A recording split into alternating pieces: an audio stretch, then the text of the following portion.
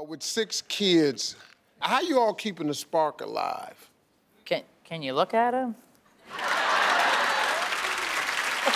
I mean, what do you do? What, Our marriage is our number one priority. Our marriage first, kids second. Yeah, that's really the- that's really it. Wow.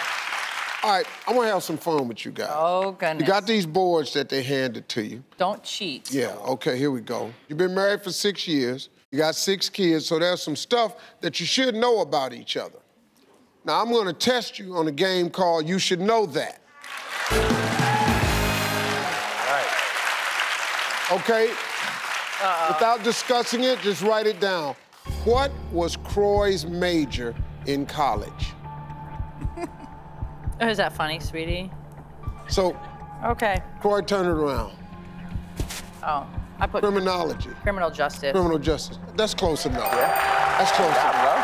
Okay, good. Okay. You're fair. Yeah, no, that's close enough. That, that's really good. All right, next question. Kim's full name is Kimberly. Spelled stupid. How does she spell it? Okay. You, you probably know that already. Sometimes I wonder what's happening in my brain. Kroy, let's see it. Okay, this is the right way. Nailed it. That's it.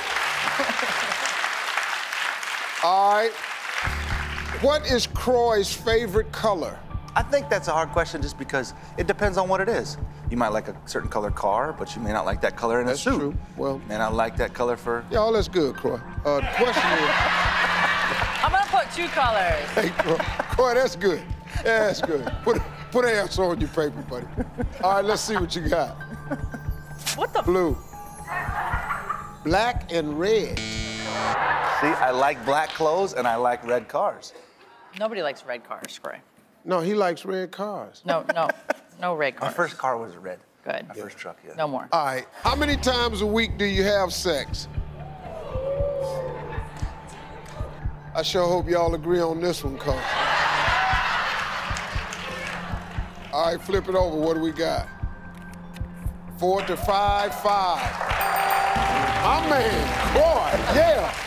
I think that right there, that's a solid man right there. He there. is a solid man. You know, he's a man's man, I can tell. So congratulations. I'm happy Thank for you. you. Thanks for Thank everything. you. Hope you had a good time. Thank you all. It's wonderful.